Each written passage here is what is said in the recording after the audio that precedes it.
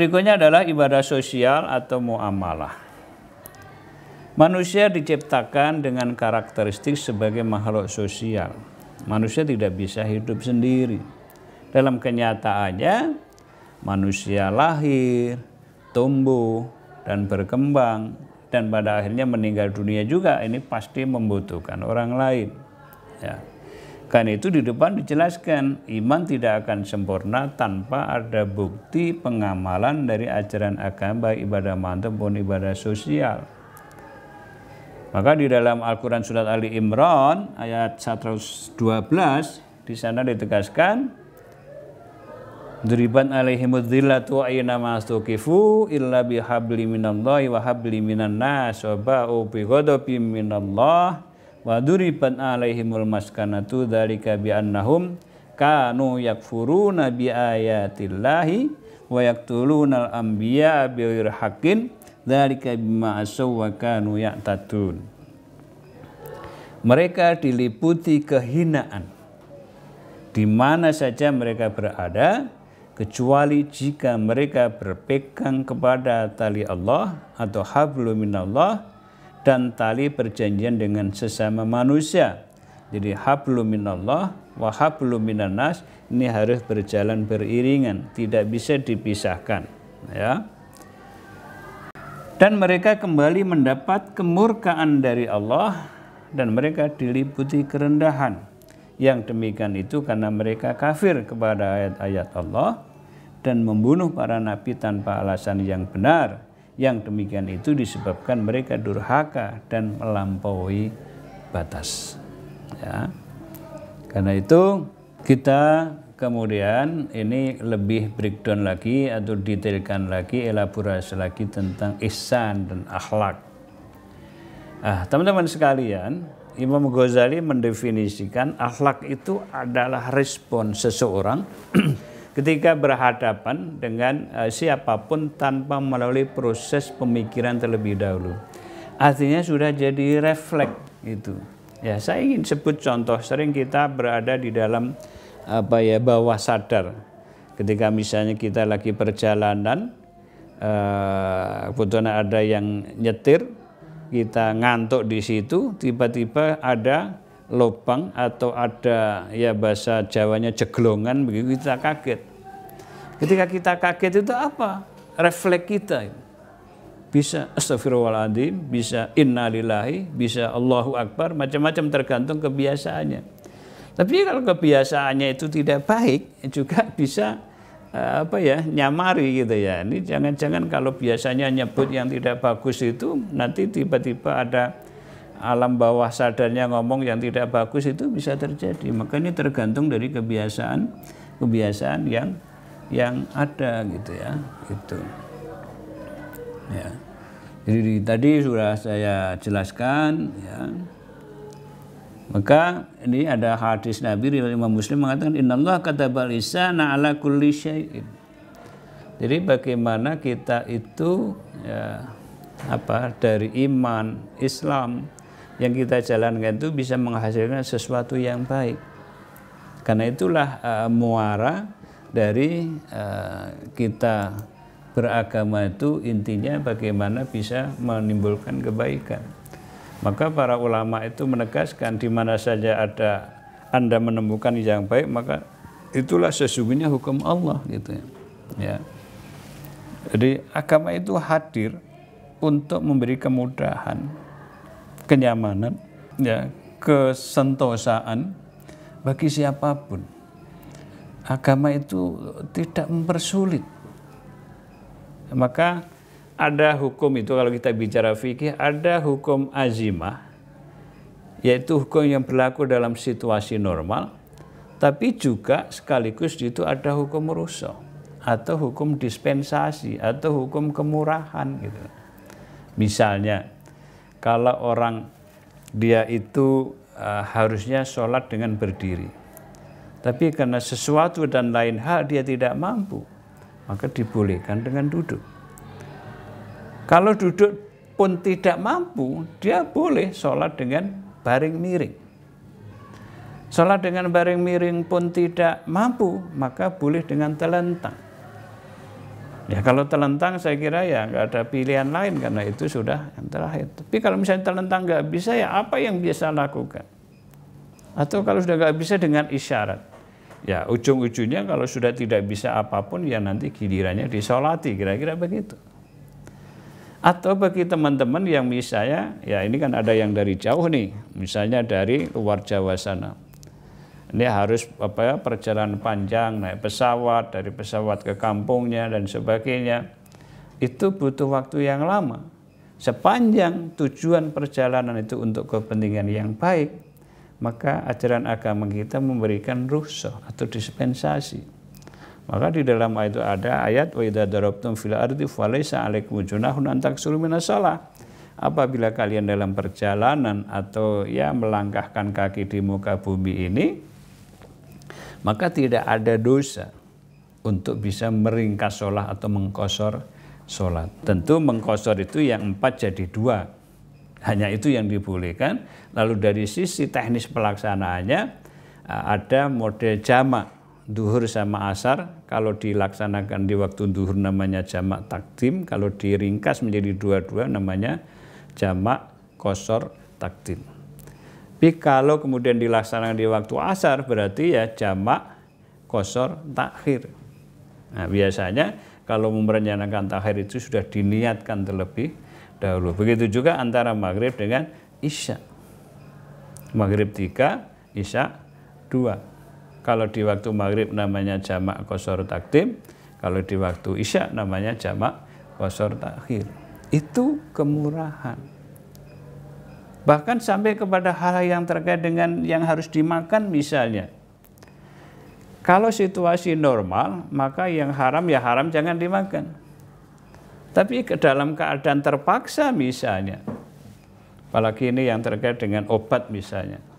Ya, obat-obatan kita itu menurut uh, apa yang disampaikan oleh Direktur LP MUI Pusat, itu dari 150 perusahaan farmasi itu yang yang sudah ngantongi sertifikat halal itu nggak sampai 30.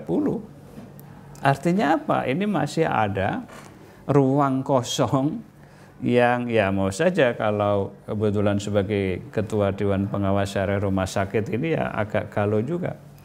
Maka beberapa waktu yang lalu saya sempat tulis itu di di media andai kata lambang farmasi itu berubah jadi ular yang melilit mangkoknya eskalipus gitu ya. Uh, itu berubah menjadi lebah madu dan mangkok kira-kira begitu ya itu. Ya. Ah ini terkait dengan soal akhlak ini Rasulullah satu saat bersabda yang di sini menggunakan redaksi innama bu'istu liutammima makarimal akhlak Kata Rasulullah, sesungguhnya aku diutus adalah untuk menyempurnakan akhlak ini hadis dari Imam Bukhari dan Ahmad. Nah, yang berikutnya adalah karena dengan begitu ya, bagaimana akhlak karena potensi kita masing-masing sebenarnya sudah ada. Lah agama itu menyempurnakannya. Ada Al-Qur'an, ada As-Sunnah, ada contoh dan teladan Nabi itu untuk menyempurnakannya nah, supaya menjadi lebih baik. Kemudian tadi sudah saya singgung tentang bagaimana sih kualitas keberagaman seseorang itu. Yaitu adalah manakala orang lain merasa nyaman dan damai dari tutur kata dan tangan kekuasaannya. Karena sekarang ini kan sudah sebagian dipindah melalui jari-jari yang menari-nari di atas keypad HP atau laptop. Ya. Maka sampai-sampai Majelis Ulama Indonesia itu membuat fatwa tentang apa uh, etika bermedia sosial, yaitu rambu-rambu bermedia sosial supaya tidak menyebar hoax, tidak menyebar fitnah, tidak membuat status yang justru nanti akan membuka aib dan sebagainya dan sebagainya itu. Kalau dalam bahasa anak-anak muda kan katanya mulutmu harimaumu gitu kan. Tapi juga sekaligus kalau kata-kata yang muncul itu kata-kata hikmah, mutiara yang keluar, maka itu akan menjadi menjadi hati gitu ya, menjadi hati yang yang akan menunjukkan jati diri kita gitu. Maka Rasulullah menegaskan al muslimu man salimal muslimuna min lisanihi wa yadihi wal muhajiru man hajaroh manahallahu anhu. Orang Islam yang berkualitas itu adalah manakala orang lain merasa nyaman ya dari tutur kata atau lesanya dan tangan kekuasaannya. Dan orang yang hijrah adalah kalau seseorang itu bisa hijrah, bisa move on gitu ya, atau bisa moving lah paling tidak dari apa yang dilarang oleh Allah itulah sesungguhnya orang hijrah ya lalu uh, Rasulullah sudah memberikan contoh bagaimana prinsip-prinsip persaudaraan. Ya saya kira ini sebagai bangsa yang majmuk sebagai bangsa yang plural maka persaudaraan ini perlu kita kita uh, fahami dan jalankan baik-baik. Ada bagaimana kita beretika bersaudara sesama pemeluk agama. Itu yang yang dalam konteks Islam disebut dengan ukhuwah Islamiyah. Ya, persaudaraan uh, sesama muslim uh, atau muslim brotherhood gitu ya. Yang kedua adalah ukhuwah watoniyah, persaudaraan sesama anak bangsa. Dan yang ketiga adalah ukhuwah insaniyah, persaudaraan sesama manusia. Karena pada saat-saat tertentu ini kita akan jumpai itu. Misalnya karena ketika teman-teman ya, ke luar negeri, di negara, apakah itu di Eropa, di Amerika, bahkan di Cina, sekalipun di Australia atau di Timur Tengah, kita pasti akan ketemu, apalagi di dunia sekarang ini yang boleh dikatakan global dan borderless itu ya global menyatu berdelegasi tanpa batas karena kejadian yang ada di tempat ini kalau ini dirilai misalnya itu akan di, dilihat disaksikan oleh orang-orang yang ada di sana. Nah, gitu kan? Tuh. Nah, karena itu ada nilai-nilai etika dalam hubungan sosial ini yang yang menunjukkan. Memang dulu pernah ada ungkapan seorang tokoh Alam Arsalan mengatakan saya jalan-jalan ke Eropa ya tapi saya justru menemukan Islam di sana. Sementara saya berjalan-jalan di tempatnya orang yang memeluk agama Islam tapi saya tidak menemukan Islam di sana. Ini kan teman yang yang menarik itu sehingga ada ungkapan yang sangat terkenal itu al Islam mahjubun bil muslimin gitu kan Islam itu tertutup oleh orang-orang Islam sendiri. Sementara kita fahami, kita ketahui bahwa al-Islam ya'lu wa la alai. Islam itu ditinggikan. Tidak ada yang melebihi tingginya gitu. Nah, inilah tantangan kita.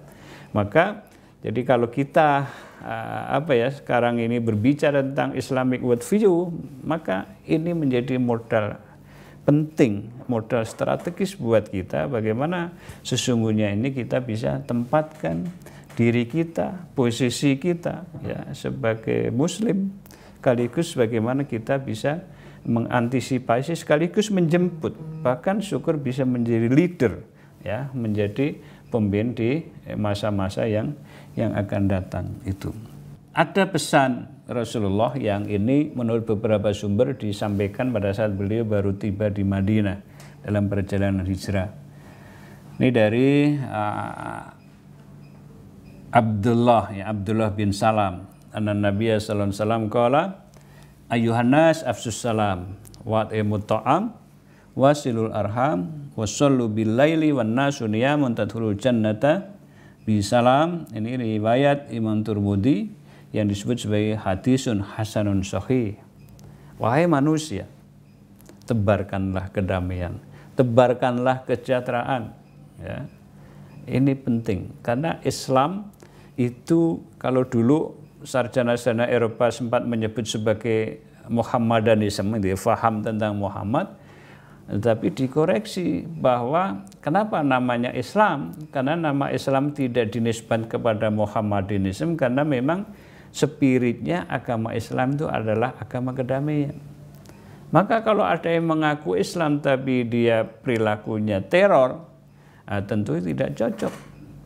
apalagi kemudian dia menganggap orang lain itu kemudian apa dengan mudahnya sesat, eh, kafir, togut dan sebagainya itu tentu tidak tidak benar gitu. Karena visi misi utama Islam itu adalah tadi perdamaian itu. Yang kedua, imut to'am, berilah makan orang-orang yang membutuhkan.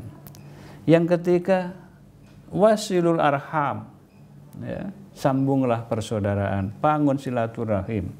Dan nah ini kalau di persentase ini yang terakhir wasallu wan nasu niyamun. Salatlah ketika kebanyakan orang sedang pada tidur nyenyak. Ini kalau kita kuantitaskan sesungguhnya amalan sosial itu lebih besar. 75% itu amal sosial. Yang 25 persennya itulah yang yang ritual gitu loh. Nah, maka ini yang mari kita uh, coba uh, padukan, kita usahakan agar supaya kita ini menjadi paham betul bagaimana uh, pandangan dunia ya Islam kita itu supaya Eh, betul-betul nanti ketemunya ya akan kita solihun likulli zaman wa makan ya. Karena uh, sesungguhnya ya ini yang menjadi modal kita. Kemudian ini yang sering kita bagaimana kita ini punya sikap moderat ini di dalam Al-Quran surat Ali Imran ayat 64 sana ditegaskan hai ahlu kitab marilah berpegang pada satu kalimat atau ketetapan yang tidak ada perselisihan antara kami dan kamu bahwa kita sama-sama tidak menyembah kecuali Allah dan tidak kita persekutukan. Ya, kita tidak persekutukan dia Allah dengan sesuatu pun dan tidak pula sebagian kita menjadi bagian yang lain sebagai Tuhan selain Allah. Jika mereka berpaling, maka katakanlah kepada mereka, saksikanlah bahwa kami adalah orang-orang yang berserah diri kepada Allah. Ini surat Ali Imran ayat 64. Ya. Kemudian berikutnya bagaimana kita bisa menjadi orang yang bermurah hati, ya, toleran atau tasamu. Kita ini gampang-gampang kan sering mengklaim ini itu merasa benar sendiri. Masya Allah. Ini saya kira tantangan terberat buat kita kita memang wajib meyakini apa yang kita lakukan itu benar. Tetapi Imam Syafi'i memberi contoh ketika beliau berpendapat mengatakan hada sawab yahtamilu khoto. Ini benar, tetapi mungkin ada kekeliruan. Itu sikap para ulama-ulama dulu seperti itu, ya. Itu. Maka uh, sikap al-hanifiyah as-samhah gitu ya jadi kita beribadah meyakini tapi juga ya kalau ada orang lain berbeda silakan saja. Ya, itu. Kemudian yang berikutnya dalam kehidupan sehari-hari tasamu atau toleransi beragama seperti surat Al-Kafirun itu menjadi penting. Kemudian ta'awun atau saling tolong menolong. Ini kalau kita menolong orang lain itu pada hakikatnya kita sedang menolong diri kita sendiri. Kemudian tarohum saling menyayangi ya karena apa? Karena inilah sesungguhnya uh, hakikat dari persaudaraan kita. Bahkan kalau Rasulullah itu menegaskan uh, orang Islam yang satu itu adalah saudara, ya. al muslimu akhul muslim, gitu. atau orang yang beriman satu dengan orang beriman lainnya itu seperti satu jasad yang satu. Kalau anggota tubuh yang satu sakit maka yang lain akan akan merasakannya, itu ya. Itu. Kemudian eh, bagaimana Islam kemudian mengantisipasi ya perkembangan sains, teknologi apalagi di era industri ini di mana banyak pekerjaan-pekerjaan sudah diambil oleh oleh robot-robot cerdas atau artificial intelligence ya. Saya kira banyaklah yang sudah dilakukan itu. Maka ini ya kita harus antisipasi.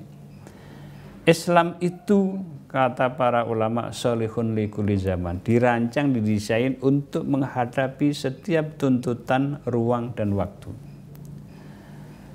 Ada juga singkat saya ini dari Ibnu mengatakan asyara'i mutahaddidah wal waqa'i mutajaddidah syariat itu terbatas Karena begitu ayat al-yauma akmaltu lakum dinakum wa atmamtu alaikum nikmati wa raditu lakumul islam itu yang disebut ayat terakhir maka wahyu selesai. Ya. Maka kalau ada orang-orang yang mengaku menerima wahyu apalagi mengaku nabi, ada lagi yang mengaku Jibril, ya itu berarti yang ngaku-ngaku aja.